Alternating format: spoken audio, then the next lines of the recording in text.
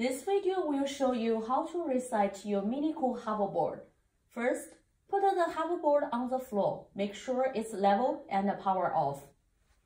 Second, push the power button for 3 seconds. Hold it till you see the light start flashing. Wait the light flashing for 30 seconds, then turn it off.